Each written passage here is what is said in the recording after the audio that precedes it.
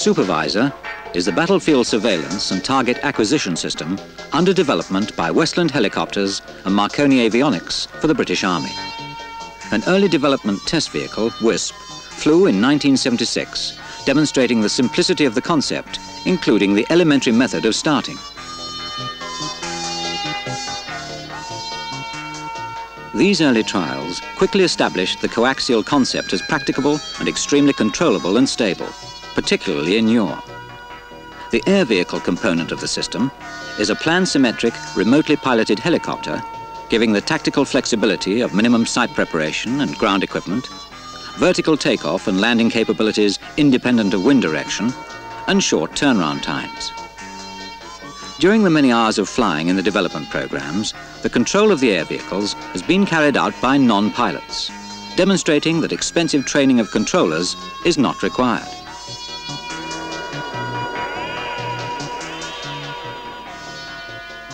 WISP carried a simple commercial camera, whose sightline stability was derived from the air vehicle stabilization. The symmetric planform layout gives the vehicle no preferred direction of flight, permitting it to point its narrow beam data link antenna continuously at the ground station. Development of Wideye, the air vehicle of the supervisor system, began early in the program, which was launched in 1976. Design of the compact mechanical module, one of three making up the air vehicle, has been substantiated by comprehensive testing, including altitude engine performance, to determine fuel consumption and performance changes up to an altitude of 5,000 feet.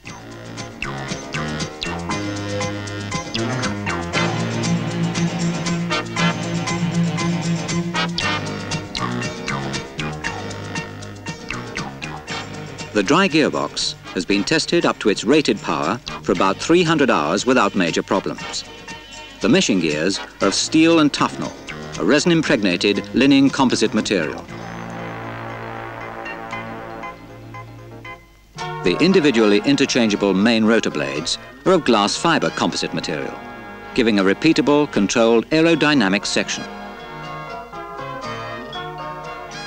This slow motion sequence of undercarriage drop tests is typical of the comprehensive testing carried out during the development period. The integration of these elements has reached the stage of complete air vehicles, which have been subjected to considerable ground and rig running. Throughout the ground running, a full range of parameters has been monitored and recorded on video.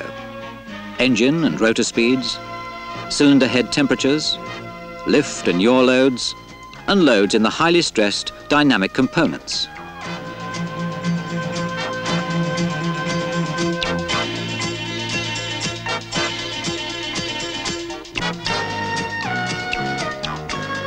Following exhaustive ground running in the enclosed cell, the vehicle is finally cleared in the open air, where there are no aerodynamic recirculation problems. This final checkout covers the accurate trimming in yaw on a freely rotating tie-down rig.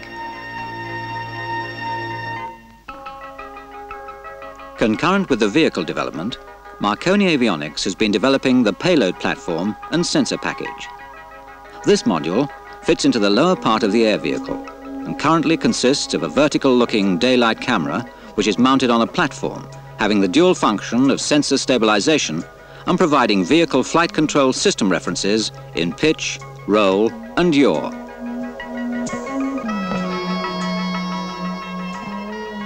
The platform contains all the sensor lens control electronics and gives the sensor freedom of movement independent of vehicle attitude, as well as enabling the operator to orientate the camera to give any chosen image heading, normally north up or track up.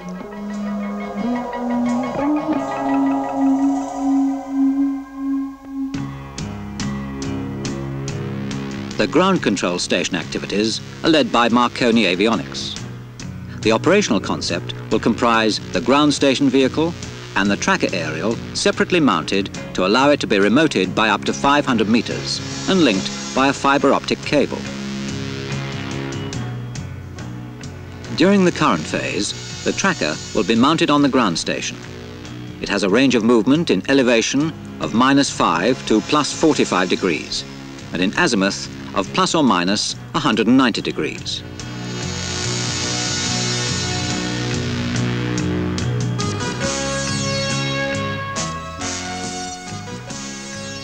It has an operational crew of three, consisting of the mission controller, the imagery interpreter, and the air vehicle controller, each having common controls allowing interoperability.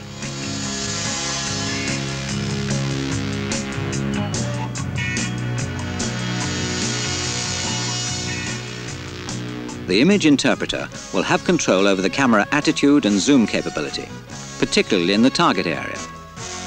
For a planned mission, the air vehicle controller will take over the air vehicle from the remote launch and recovery unit, which may be deployed a number of kilometers away, setting the vehicle altitude, speed and heading to the target area.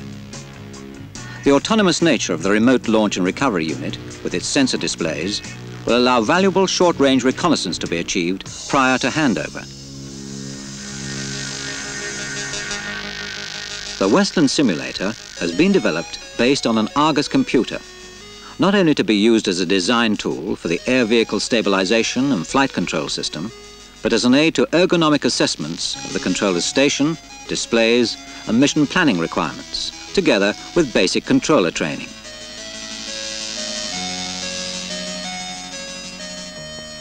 A TV screen simulates the outside world and shows a remote launch site and air vehicle. The simulator incorporates the fundamental displays of the ground station together with the alphanumeric vehicle performance parameters.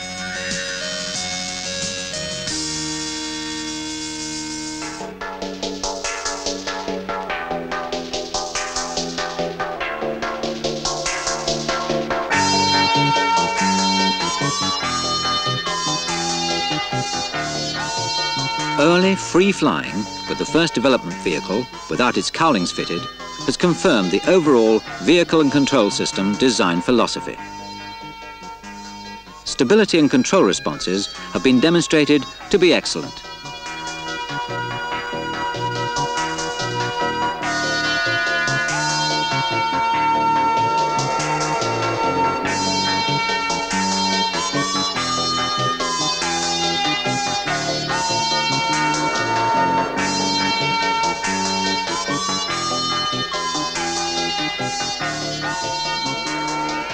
The second demonstrator air vehicle, with its daylight sensor, has successfully transmitted real-time images and further explored the general performance envelope.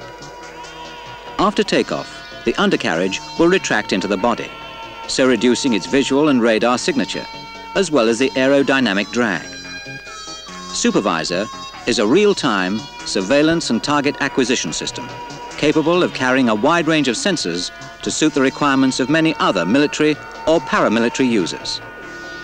Simpler system derivatives will ideally be suited to many short-range applications.